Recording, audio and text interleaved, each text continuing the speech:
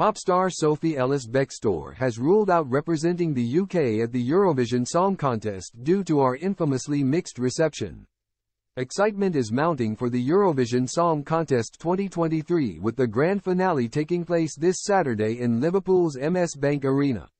25-year-old Londoner Mae Muller is representing the UK this year in the hopes of avoiding the dreaded nul points. Mae is relatively new to the music industry but did have a successful 2021 hit with Better Days and supported Little Mix on tour in 2019. Plenty of artists have competed in Eurovision after already having a successful music career. These include Cliff Richard in 1973, Olivia Newton-John in 1974, Celine Dion in 1988 and Katrina and the Waves in 1997. However, despite a catalog of floor-filling pop songs.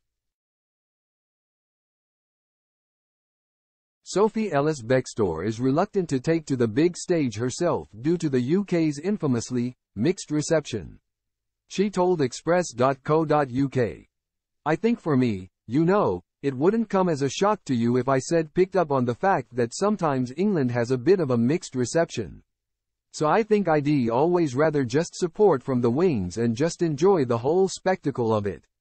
I don't really want to be one of the ones that comes home with a heavy head. I'd go if I knew I was going to be on the right side of the leaderboard. Nevertheless, the Murder on the Dance Floor hitmaker will be playing her part in this year's contest. She will be hosting a Eurovision viewing party in the ultimate home of Eurovision.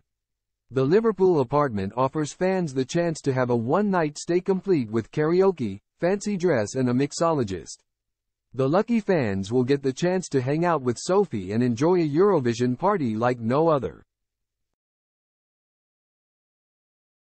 Sophie said, I am so excited to be in Liverpool this year to watch the Eurovision final alongside the lucky guests who booked this experience with Booking.com. Being able to celebrate this special occasion in the actual home of Eurovision this year won't only be an unforgettable home away from home experience for the guests, but myself as well. The ultimate home of Eurovision with Sophie Ellis Bextor will be available to book on a first-come first-serve basis on the 28th of April on Booking.com. You can find out more here.